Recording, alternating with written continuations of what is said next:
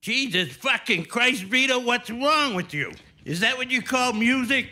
God damn it, don't you know any Sinatra? I told you go to school. Go to school. Go to school. That's what's wrong with this fucking world. You kids don't listen. You don't listen.